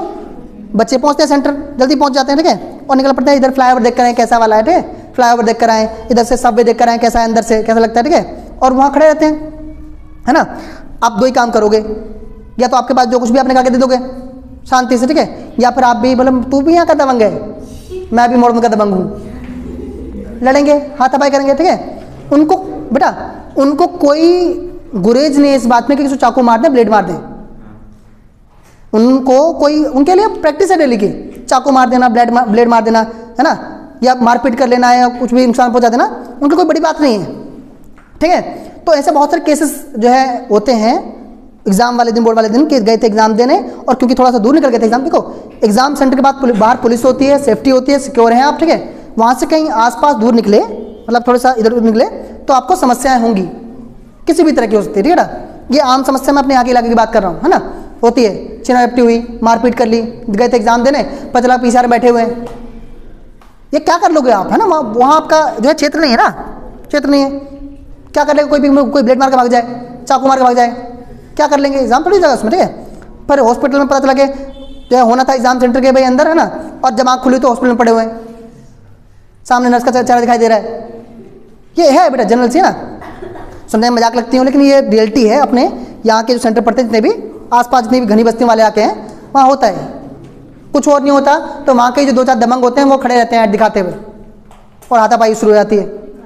ये कॉमन सी बात है, ठीक है? तो जब एग्ज़ाम देने जाए, अपने सेंटर के बाहर आसपास ही ना ज़्यादा दूर ना निकले, और जो है ना, आप वहाँ हैं तो सेफ़ है, वरना तो फिर दिक्कतें बहुत सारी उसते हैं, ठीक है? चलो, ठीक है? तो अभी बात करें क्या करना है, ठीक है? अब क्या करने बेटा? होगी। ये सारी बातों को इनको करते हैं अलग। ये बहुत सारी बातें होंगी। अब आते हैं, अपनी आंसर शीट हमें मिल गई है। एग्ज़ाम में आंसर शीट मिल चुकी है, और आंसर शीट को हमें लिखते हैं, ठीक है? हाँ?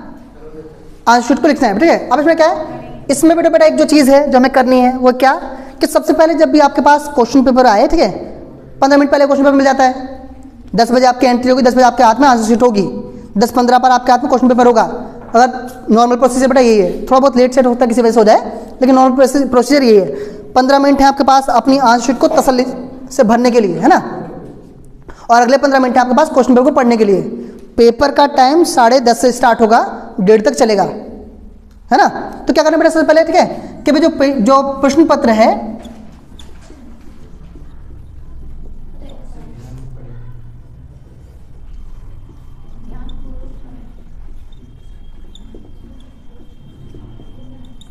ध्यान से नहीं पढ़ना है, ठीक है? हाँ। क्वेश्चन पेपर को ध्यान से पढ़ा पता चला, मैंने देखा ना, वो पूरा एक घंटा पेपर ही पढ़ते रह गया। क्वेश्चन पेपर पढ़ता रह गया और जब आँख खुली तो बोला, ये घंटा बीत गया, अब आंसर लिखेंगे कब? ठीक है? तो क्या करना पड़ेगा पेपर में कोई नई चीज़ नहीं है। आप प्री बोर्ड दे चुके हैं, ठीक है? आप मॉक टेस्ट दे चुके हैं। उससे कुछ अलग बहुत ज़्यादा नहीं होगा। सवाल तो अलग होंगे भी, ज़ाहिर सी बात है क्या लेकिन पेपर का जो मॉड्यूल है पेपर का जो फॉर्मेट है, उससे ज़्यादा अलग नहीं होगा। उसमें कुछ बहुत ज़्यादा दिमाग नहीं बस सवाल पढ़ने की ज़रूरत ठीक है? करना क्या है? भाई, प्रश्न को एक नज़र में पढ़ लेना है। एक बार पूरा पेपर देख लेना है, किस किस तरह के सवाल आए कौन कौन सवाल हैं, ठीक है? क्या क्या हमने? पेपर पूरा एक बार में पढ़ लिया, ठीक है? ध्यान से मैं नहीं बोलूँगा पढ़ना है, बहुत ज़्यादा टाइम लगा पढ़ना है, मैं नहीं बोलूँगा, ठीक है? सब सारे तौर पर एक बार जो है पूरे पेपर में नज़र मार लेने दें। और उसमें की नज़र जो है, उतने टाइम में मतलब दस पंद्रह मिनट हमने लिए, बीस मिनट ले लिए पेपर पढ़ने के लिए, ठीक है? उस टाइम में क्या करना है, अपनी जो है योजना बना लेनी है, ठीक है?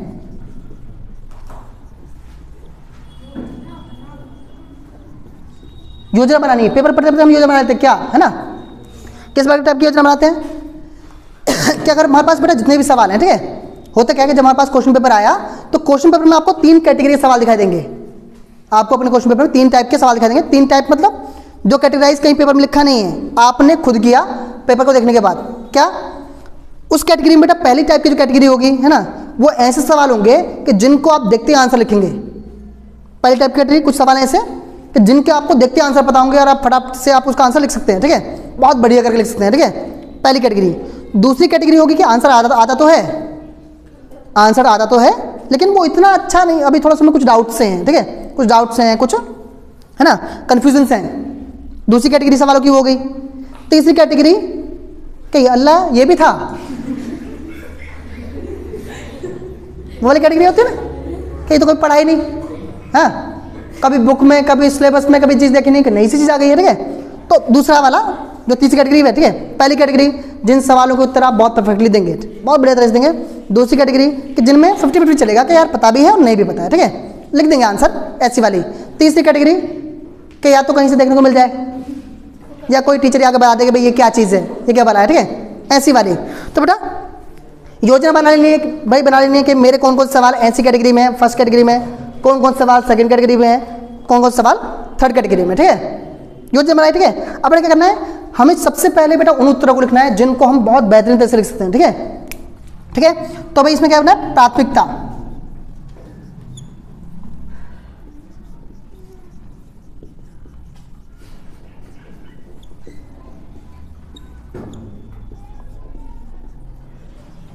ना तो प्राथमिकता वाले सवाल बेटा क्या जो जिन भाई देखो, सिंपल सी बात है।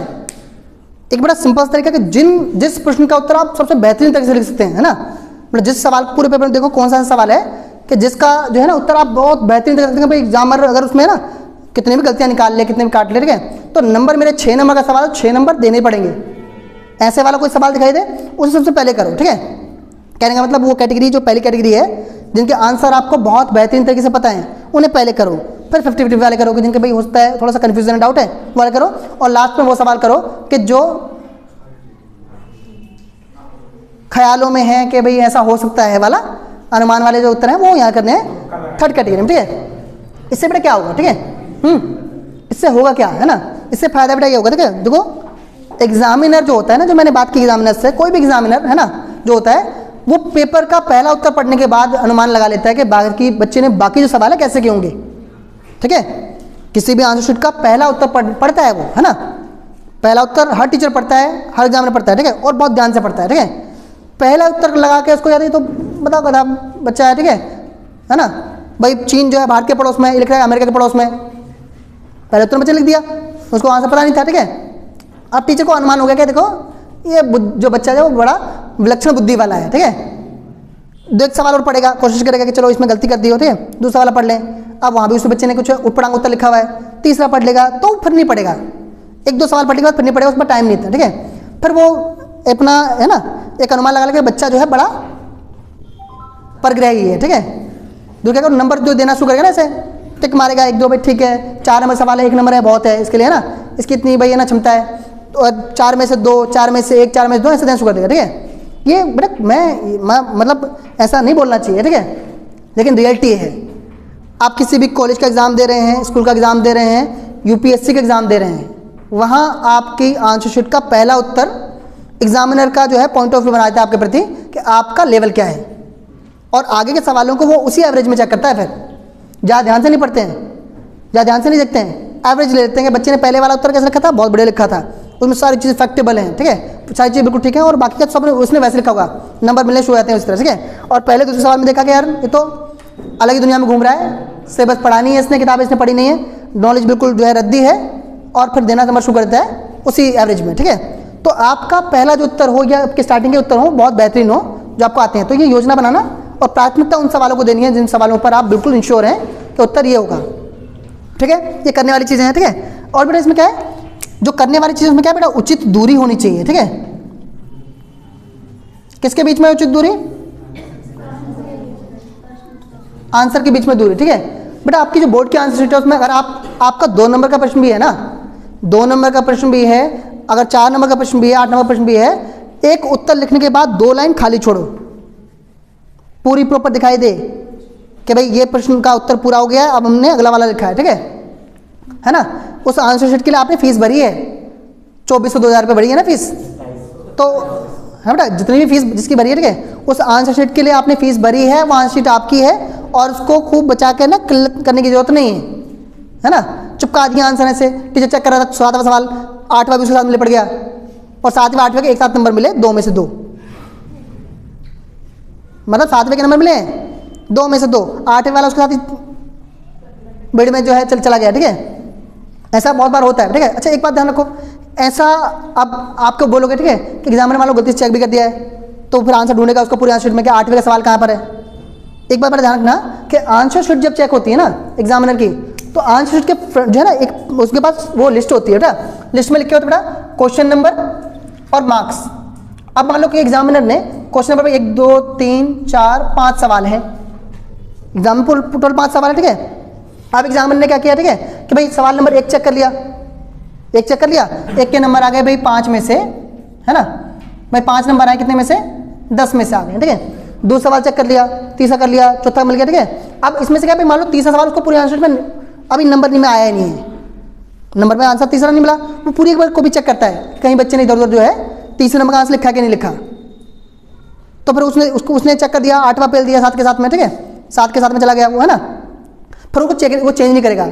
उसने यहाँ जो नंबर चढ़ा दिए हैं, उसने जो कॉपी पे टिक मार कर जो नंबर दे दिए हैं, वो चेंज नहीं करेगा। तो अगर उसने चेंज किया इट मीन्स कि वो खुद इंडिकेट कर रहा है, जो है उनकी अथॉरिटीज़ को, कि मैंने कॉपी गलत चेक की। तो उचित दूरी होना आंसर्स में बहुत ज़रूरी है। ठीक बेटा? प्रॉपर यूज़ करो ना पेज को पूरा, है ना? बेटा, एक उचित दूरी, और बेटा जो है उत्तरों की नंबरिंग नंबरिंग ठीक बेटा? नंबरिंग बहुत ध्यान से करनी है आंसर्स की, है ना? क्यों? होता कई बार ऐसा ना कि हम लिख रहे हैं आंसर नंबर जो है चौदह का, प्रश्न नंबर चौदह का उत्तर लिख रहे हैं। लिख रहे हैं चौदह नंबर का, ठीक है? और गलती से हमने उसमें बारह नंबर डाल दिया है। एग्जामिनर बारह का जो सवाल पड़ेगा, और आपके आंसर में ढूंढेगा बारह का आंसर है कि नहीं है। सवाल नंबर चौदह पर था, ठीक है? कि भाई हड़प्पा सभ्यता की विशेषता बताओ। और चौदह पर जो सवाल है, वो क्या है? मौर्य साम्राज्य के बारे में। आपने क्या किया गलती से? आपको लिखना था बारह नंबर का उत्तर, है ना? लेकिन आपने गलती से नंबर चौदह डाल दिया है। सवाल नंबर चौदह डाल दिया, ठीक है? एग्ज़ाम में क्वेश्चन पड़ेगा, बारह क्या है? आंसर है कि नहीं है। कट खत्म. वो ठीक करने नहीं बैठेगा कि हाँ बच्चे ने गलती से यार ये तो सवाल तो दूसरा था। और बच्चे ने गलती से इसका नंबर गलत कर दिया है। पूरा आंसर जाएगा। मैथ खूब की थी, लिखा खूब था। तो नंबरिंग बहुत ध्यान से करनी है, ठीक है? आपके आंसर्स की नंबरिंग बहुत ध्यान से करनी है, ठीक है? एक ये चीज़ हो जाती है इसमें। एक बड़ी चीज़ इसमें रह जाती है वो ये, ठीक है, कि आपको जो करनी है चीज़ें, ठीक है? अब एग्ज़ाम में बेटा बोर्ड में ब्लैक पेन बहुत जगह मना हो गया है, ठीक है? ब्लैक पेन एक ही पेन आपके पास, क्या? ब्लू है ना? क्या करो? दो टाइप के पेन रखो। दो टाइप के पेन ब्लू ही रखो दो टाइप के। एक पेन जो रेगुलर है हमारा, पतली निप वाला, वो पेन रखो। और एक पेन रखो मोटी निप वाला आता है ना? बोल्ड निप वाला पेन आता है, उसमें क्या जो भी लिखोगे मोटा मोटा दिखाई देगा, ठीक है? भाई, जितने भी इनोवेशन आविष्कार हुए हैं सब ना, बच्चों ने तो किया, इंसानों ने तो किए हैं, ठीक है? तो उन्होंने ब्लैक पेन मना कर दिया है इट मीन्स हमारे पास है ना और तरीका? जब बेटा हम नंबरिंग कर रहे हैं, हम अपना आंसर लिख रहे हैं तो उसकी हेडिंग आंसर की हेडिंग है पॉइंट की हेडिंग है, ठीक है? आपके जो पॉइंट्स हैं, उनको मोटे पेन से लिखो ब्लू वाला मोटा पेन अलग दिखाई देगा, ठीक है? और उसको डिस्क्राइब जब कर रहे हो आंसरों की जब व्याख्या कर रहे हो, पतले पेन से लिखो। कलर की तो मना किया है, मोटे पेन थोड़ी बोला है। दो टाइप के पेन लेके जाओ, ठीक है? एक मोटी निप वाला, जिससे हम अपनी हेडिंग्स डालेंगे। हेडिंग्स डालेंगे, अपना जो भी पॉइंट के जो है, उसको जो है लिखेंगे। और दूसरा पेन से डिस्क्राइब करो पूरा उसको। अलग दिखाई देगी कॉपी कि भाई आंसर लिखते समय पॉइंट्स कौन सा है पॉइंट्स की जो है व्याख्या कौन सी है। ठीक है ये चीज़ें करने की है। नहीं करने वाली बात हूँ, ठीक है? ज़्यादा समय अब नहीं लेते हैं। इसके बाद किसी को कुछ निजी सवाल हो किसी का, इन सबसे अलग किसी के दिमाग कुछ आता हो तो मुझे बताना अभी, है ना, समय को देखते हुए इनको करते हैं। जो चीज़ें नहीं करनी है जिन चीज़ों से एग्जामिनर को सख्त नफरत है। ठीक है? क्या बेटा ठीक है? उसमें पहली चीज़ बेटा आती है क्या? है? पहली चीज़ बेटा जिन चीज़ों से, जो चीज़ें नहीं करनी है, ठीक है? क्या नहीं करना बेटा? एक तो दोहराना नहीं है। किसी भी उत्तर को दोहराना नहीं है, ठीक है? किसी भी आंसर को रिपीट नहीं करना है। कई बच्चे होता है, सोचते हैं कि तीसरे का आंसर नहीं आ रहा है। चौथे का आता है। नंबर डाला किसका? चौथे का? और बोला जो है तीसरा भी आंसर हो गया, है ना? या चौथे वाला नहीं आता है? पंद्रह आपने आता है, पंद्रह दोबारा कर दिया। एग्ज़ाम में चेक ही तो करेगा। नंबर इधर भी देगा, दो नंबर पंद्रह में, पंद्रह सवाल पर ही। भाई, चार में से जो है दो नंबर दे देगा, उधर भी चार में दो नंबर दे देगा। चार चार पर चार नंबर मिल जाएँगे। ऐसा होशियारी बच्चे समझते हैं, ठीक है? लेकिन फिर बेटा क्यों है उनके पास लिस्ट है? अगर एग्जामिनर ने सवाल नंबर एक पहले कॉपी में चेक कर लिया है चेक करके उस नंबर सवाल के नंबर यहाँ चढ़ा देगा अवार्ड लिस्ट में। पूरे आंसर शीट में एक नंबर सवाल आपका पहले आ चुका है एक बार। आप दो सोच रहे हो, होशियार बन रहे हो कि एग्जामिनर जो है दोबारा एक नंबर को चेक करेगा उस पर दोबारा चार नंबर दे देगा। चार में चार। ये बहुत बड़ी गलतफहमी है, ठीक है? कि देख के दिमाग खराब हो जाता है एग्जामिनर का। उसको लगता है कि जो बच्चा है बहुत होशियार बनने की कोशिश कर रहा है और जब मैं इसको होशियार निकालूँ, ठीक है? तो एग्जामिनर को कोई बेवकूफ़ नहीं बैठे हैं, ठीक है? कि भाई आप जरा उनसे जितनी और हमारी और आपकी उम्र है, उतना टाइम उनको कॉपी चेक करते हो गया है। पंद्रह बीस साल। इतनी एज है ना? जितने हम जीवन जी चुके हैं, उतना उनको कॉपी चेक करते वक्त बीत गया है? तो जो चीज़ें आपके दिमाग में आ रही हैं, वो दिमाग में लाकर भुला चुके हैं। ठीक है? तो रिपीटेशन आंसर्स को दोहराना नहीं है, कोई फ़ायदा नहीं है। इससे बेहतर होगा कि आपको जो उत्तर आते हैं, उन्हीं उत्तरों को बहुत बढ़िया किस्म से लिखो, ठीक है? तरीके से लिखो, दोहराने से कोई फ़ायदा नहीं है। रिपीटेशन से कोई फ़ायदा नहीं है, ठीक है? पहली चीज़ जो नहीं करनी है, ठीक है? दोहराना नहीं है। उत्तर को क्या? दूसरे पे जो काम करना है? काटा पीटी नहीं करनी है।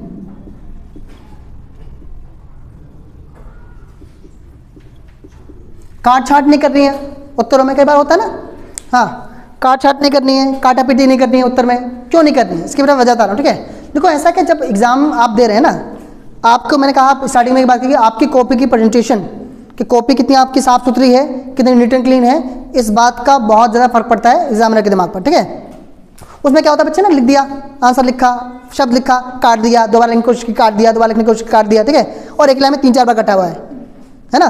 तो अगर किसी एग्ज़ाम में कोई सवाल चार नंबर का है, और उस सवाल में अगर एक बार भी कट लगाया ना आपने, एक वर्ड पर एक बार भी कट लगाया तो टीचर का जो है एग्जामिनर जो है, उनका जन्म से अधिकार बन जाता है वो नंबर काटे। चार नंबर पूरे नहीं देंगे। अगर आपने एक बार भी कट लगा दिया है और दोबारा उसको सही करके लिखा है तो एग्जामिनर आपके नंबर नहीं देंगे, ठीक है? कोशिश करनी है कि कोई शब्द हमसे गलत ना लिखा जाए। लेकिन भगवान तो है नहीं, गलत लिखा जाएगा लिखा जाएगा, ठीक है? उसी शब्द को, ठीक है, एक आध अक्षर आगे पीछे हो गया, लिख दो पूरा प्रॉपर ठीक है? काटो मत। क्यों? इसको बताइए क्यों? इसको इसको की तरह क्यों? जब मैं एग्ज़ाम एग्जामिनर हूँ और कॉपी चेक कर रहा हूँ, ठीक है? तुम जो उत्तर लिख रहे हो, मेरे दिमाग में पहले से भरा पड़ा है है ना? ठीक है? और तुम एग्ज़ाम में तुम्हें लिखना है कमल। तुम्हें एग्ज़ाम में कमल लिखना है, ठीक है? और मुझे पता है कि वहाँ पर कमल होना चाहिए। ठीक है? मुझे पता है, वहाँ पर कमल होना चाहिए। एग्ज़ाम में लिखना चाहिए। और तुमने ये लिखना क्या है, कमल लिखना है, ठीक है? लेकिन तुमने मेरे गलती से वहाँ मकल लिख दिया है। गलती से तुमने मकल लिख दिया है। एग्जामिनर उसको कमल ही पड़ेगा मकल नहीं पड़ेगा लेकिन तुमने मकल लिखा, काटा, फिर कमल लिखा। तो एग्जामिनर पे गोला मारेगा। एग्ज़ाम में गोला मारेगा ना? और जब गोला मारेगा तो फिर नंबर भी मारेगा। ठीक है? तो कोशिश करनी है, गलतियाँ ना हो, अगर हो जाती है तो काटना नहीं है, ठीक है? एक तरीका है बेटे सही काटने का। काटने का तरीके से कहिए, अगर आपको पूरा उत्तर गलत हो गया है, उस पर सिंपल सा दो लाइन खींचो, उसका मतलब आपने आंसर काट दिया है, उस आंसर को फिर से फ्रेश पेज पर लिखो। ये सही तरीका है, काटने का, ठीक है? आपका आंसर गलत हो गया है, काट दो उसको, ठीक है? और काटने में इसमें पेपर पे पेन लेकर बस आंसर दिखाई नहीं दे जाए टीचर को, क्या लिखा था? और पीछे वाले जो तीन चार पेज हैं, वो भी शहीद हो गए काटने के चक्कर में, ठीक है? फिर याद आए तो पीछे तीन चार आंसर भी उसमें गए तो काटने मतलब क्या? आपने आंसर गलत हो गया। पूरा आंसर काटो, दोबारा लिखो, उसी पेज पर जगह तो लिखो, नहीं तो अगले पेज पर लिखो, ठीक है? काटने तरीके से लेकिन काट छाट वैसे नहीं करनी है कि कॉपी पर जो है धब्बे धब्बे धब्बे धब्बे दिखाई दे रहे हैं। ये तो वो बहुत इफ़ेक्ट डालेगा, है ना? तो बेटा काट छाट नहीं करनी है, दोहराना नहीं है, ठीक है? और बेटा, जो चीज़ें नहीं करनी है एग्ज़ाम में, ठीक है? एग्ज़ाम के आंसर शीट में जो चीज़ नहीं करनी है, ठीक है? ये दो चीज़ों पर सख्त नफरत है एग्जामिनर्स को जैसे मैंने बात की तो पता चला, एक तो दोहराने पर रिपीटेशन पर बहुत नफरत है, और दूसरा काटने पर ठीक है? बड़ा तीसरी चीज़ जिससे नफरत होती है एग्जामिनर्स को, है ना, जो आपको नहीं करनी है है ना? उनको नफरत है मतलब आपको नहीं करनी है। क्या नहीं करना है? ठीक है बेटा, आपको, है ना? कि आपको जो है ना बड़ा घुमाना नहीं है।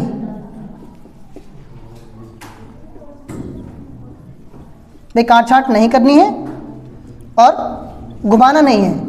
घुमाना नहीं इन द सेंस एग्जामिनर को नहीं घुमाना है। है ना? सवाल में जवाब, भाई, एक सवाल आया।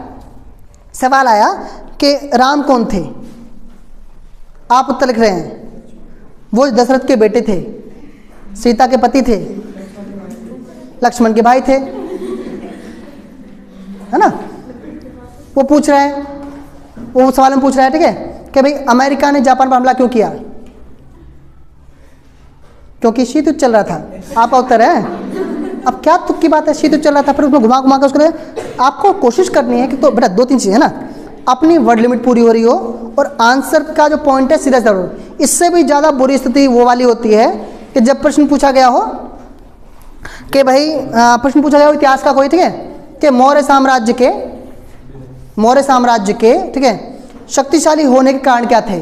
और बच्चा उत्तर लिखता है कभी कभी मेरे दिल में ख्याल आता है कि जैसे तुझको बना गया है मेरे लिए।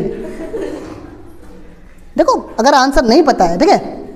अगर आंसर नहीं पता है तो आपकी अपनी सामान्य समझ उसके बारे में क्या है? आपको उसके बारे में क्या लगता है? ठीक है होता है ना आंसर नहीं पता होता है। ठीक है, हमारा कुछ आइडिया चलो ये इसका आंसर हो सकता है, ठीक है?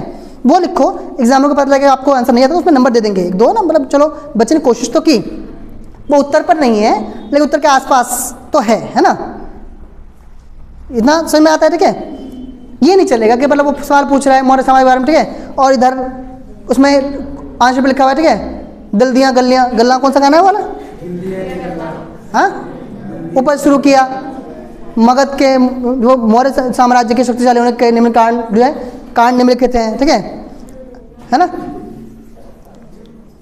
तो जो उत्तर हो, तार्किक हो, आपके प्रश्न से संबंधित हो, ठीक है? उनको घुमाना नहीं है, ठीक है? एक तो घुमाना नहीं है मतलब घुमा घुमा के सीधा आंसर दो ना भाई। उन्होंने पूछा, ठीक है? सिंपल सी बात है, उत्तर है भाई, सिंपल सा सवाल, कोई सवाल पूछा है? उसका सीधा सीधा उत्तर दो, ठीक है? सभ्य भाषा में। सीधा से मतलब सभ्य भाषा में। जितनी ज़रूरत है शब्दों की, उतने शब्दों का इस्तेमाल करो, सीधा से उत्तर दो। घुमाने की ज़रूरत नहीं है। अगर तुम एग्जामिनर को घुमाओगे उत्तर लिखते समय तो एग्जामिनर फिर जो नंबर घुमाएगा, और फिर तुम्हें नंबर ढूँढने पड़ेंगे। अगर एग्जामिनर को आंसर में उसके सवाल का उत्तर ढूंढना पड़े तो फिर आपको अपनी आंसर शीट में नंबर ढूँढने पड़ेंगे। गिवन टेक वाला फंड है, जैसा आप दोगे, जैसा परोसोगे वैसा मिलेगा, ठीक है? एग्जामिनर को घुमाना नहीं है, और दूसरा, गैर तार्किक है ना? गैर संदर्भिक जो चीज़ें हैं, बातें हैं, वो नहीं लिखनी है, ठीक है? वो कहीं और चल जाता हो सीबीएसई में नहीं चलता, ठीक है? बचना है इससे हाँ तो बेटा, दोहराना नहीं है काट छाट नहीं करनी है, घुमाना नहीं एग्जामिनर को, ठीक है? और एक जो चीज़ चीज़ नहीं करनी है, ठीक है? आपको लास्ट और यहीं पर इसको, है ना, खत्म करते हैं। एक चीज़ आपको जो नहीं करनी है अपने एग्ज़ाम में, वो ये, है ना? क्या? कि राइटिंग से अलग है है ना? जो नहीं करनी है या इसको करने में ले लो। मैं नहीं समझता कि आपको कहाँ उसको किस तरह समझेंगे ठीक है? बेटा क्या करना है आपको? आपको जो नहीं करना है है ना? तीन घंटे के पेपर को दो घंटे में करने के बाद अपने आप को योद्धाओं सा महसूस नहीं करना है। कि देखो तीन घंटे का पेपर था और मैंने दो घंटे में कर दिया। आप जो है आसपास तालियाँ बज रही हैं और ऐसे है ना? विजेता आज का यही है, है? अभिवादन ले रहे हैं लोग है ना? और बड़ी, है ना, शान से कह रहे हैं, देखो मैंने तीन घंटे का पेपर था और दो घंटे में कर दिया, है ना? तो ऐसी बुद्धिमत्ता वाला काम नहीं करना है। तीन घंटे का पेपर है और पेपर इस हिसाब से बना है कि बच्चा अगर तीन घंटे खूब लग कर लिखे, है ना तो उसका पेपर पूरा होगा और पूरे नंबर देने लायक होगा। ठीक है? ऐसी वाली बहादुरी नहीं दिखानी है कि भाई तीन घंटे पर दो घंटे में दे रहे बड़ा, है ना, यशस्वी महसूस कर रहे हैं। बड़ा, है ना, एकदम प्राउड फील कर रहे हैं कि देखो, तीन घंटे का पेपर था। और दो घंटे में करके बाहर निकल रहे हैं। शान से सीना ताने हुए जन्म नंबर आ रहे हैं, ठीक है? पूछ रहे हैं बाहर आके अच्छा एक बार बेटा, एक और चीज़ जो करने में लिख लेना, पेपर की अटेम्पटेशन हंड्रेड परसेंट हो। जितने सवाल हैं, आते हैं, नहीं आते तो कोशिश करनी है, लेकिन कोशिश ये करनी है कि हमारे प्रश्न पत्र में जितने भी सवाल हैं क्वेश्चन पेपर में आंसर शीट पर उतने ही उत्तर हों, ठीक है? ऐसा नहीं करना है एग्ज़ाम था, अस्सी नंबर का, है ना? और घर आए। बोलो, साठ नंबर का करके आए हैं। है ना? साठ नंबर करके आए हैं, है ना? और साठ तो पूरे मिलने वाले नहीं हैं। फिर बोलो, कोई बोले कि कितने नंबर आए बोला, चालीस नंबर आए बोला, कितने में से? बोला, साठ में से। क्यों साठ में से? साठ का क्या आया था। साठ में से चालीस नंबर आए भाई बेवकूफ़। वो साठ में से नहीं, वो सौ में से चालीस नंबर आए हैं। तुमने क्या किया, क्या नहीं किया, कितने छोड़े कितने छोड़े? उन सबका कोई मायने नहीं है। मायने ये है आपके कितने नंबर का पेपर कुल था और उसमें से कितने नंबर आए ठीक है? ठीक बेटा? तो ये जो जो कुछ चीज़ें हैं, हमें एग्ज़ाम्स में करनी है और नहीं करनी है, मेरा काम केवल सुझाव देना है, ठीक है? भाई, मेरा काम केवल सुझाव देना है, एक टीचर होने के नाते समझाना है और मुझे लगता था कि ये सब ज़रूरी उन चीज़ों से भी ज़्यादा है जो हम लगातार पढ़ रहे हैं दिन रात, है ना? खूब पढ़ लेंगे, खूब मेहनत कर लेंगे उससे ज़्यादा ज़रूरी है कि जब मैं एक स्टूडेंट के तौर पर पहली बार बोर्ड एग्ज़ाम देने जा रहा हूँ, या शायद मैंने पहले भी दिया हो तो कुछ ऐसी गलतियाँ जो मैं ना कर दूँ कि जिससे इतनी मेहनत करने के बाद भी, इतना, है ना, पढ़ने के बाद भी, इतना ज्ञान होने के बाद भी मुझे नंबर ना मिले, है ना? या फिर इसमें दो चीज़ें हैं भैया एग्जामिनर मुझसे क्या चाहता है? अगर मैं सीधे सीधे वो चीज़ें दे दूँ तो नंबर सीधे सीधे आएँगे। एग्जामिनर जो मुझसे नहीं चाहता है, अगर मैं वो दूँ तो नंबर भी गुम हो जाएँगे, ठीक है तो आज के इस सेशन का, इस सेमिनार का पूरा जो तारमुदार, वो ये है, ठीक है? कि भाई कि पूरे इस एग्ज़ाम को लेकर सिर्फ़ एक ना, एग्ज़ाम नहीं, बल्कि बैटल के तौर पर लेना है और हर तरह से तैयार हों, है ना? एग्ज़ाम के लिए हर तरह से तैयार हों, कोई भी कमी, कोई चूक ना रहे, ठीक है? इस सभी के साथ आपकी परीक्षाओं के लिए, आपके बोर्ड एग्ज़ाम्स के लिए ऑल द बेस्ट तैयारी करते रहो, सीखते रहो। फिर मिलते हैं किसी एक दिन। तब तक के लिए जय हिंद। नमस्कार। Subscribe now and press the bell icon. Never miss an update.